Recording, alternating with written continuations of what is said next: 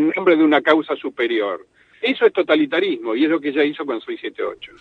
Eh, te mando un abrazo grande, Pablo. Siempre sos muy amable con nosotros y muy lúcido. ¿eh? Gracias. Un abrazo, Ari. Por supuesto que tratamos de recoger otras opiniones y le agradecemos al Chino Navarro, candidato a diputado por eh, cumplir, que eh, también conoció en su momento a Cristina, de la que después este, se despegó y hoy tiene una mirada distinta como para compartir sus reflexiones en la tarde. ¿Cómo andamos, Fernando Ari? Buenas tardes.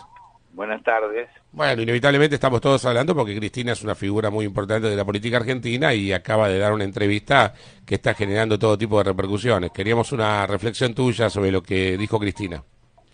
Lamentablemente no la vi porque estaba vengo de Florencio Varela.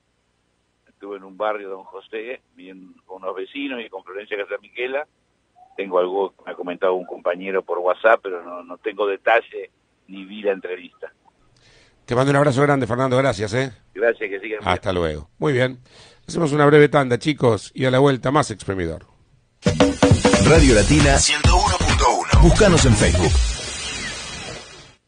Vivir la vida juntos.